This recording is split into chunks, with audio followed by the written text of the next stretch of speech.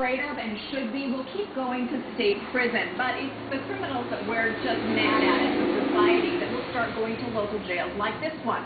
Let's take a look at what that means. We'll call this guy Chuck. Let's say he's a drug dealer, a convicted felon who would have gotten 12 years in state prison, but he's committed what's considered a non-violent, non-serious, and non-sex offense. An N3, and that means he's now headed to county jail, not prison, where he'll get four days credit for every two days he serves, meaning he could spend six years in county jail. But now a judge can instead give him a split sentence. For example, just two years in county jail and 10 years out under mandatory supervision.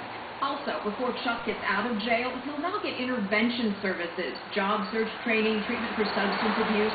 Until now, less than 10% of inmates got reentry training. Finally, Chuck will be supervised by the county when he gets out.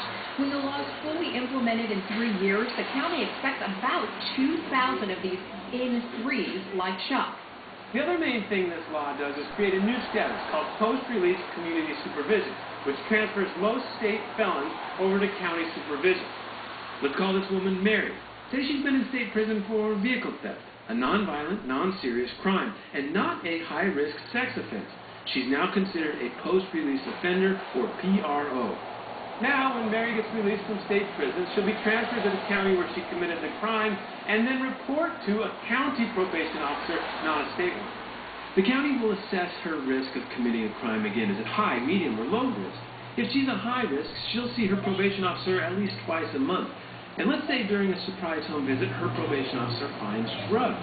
Mary doesn't go to a state parole board. As a PRO, she goes before a county judge who can, if he or she wants, decide on flash incarceration, which is maybe 10 days in county jail. But Mary's never going back to state prison for this case. These changes all started on October 1st. Here are some important things to look for. First, the state is giving the county $25.1 million for this realignment effort. And the county doesn't exactly know how much this first year will actually cost, but the head of probation tells us they should have a better idea in about six months. Also, the county hopes to use options like GPS monitoring and home detention to keep more jail beds free. There are 5,600 jail beds. Will that be enough? And the governor has promised a constitutional amendment to protect funding for taking over this huge job. It hasn't happened yet. County leaders say they'll be worried until it does.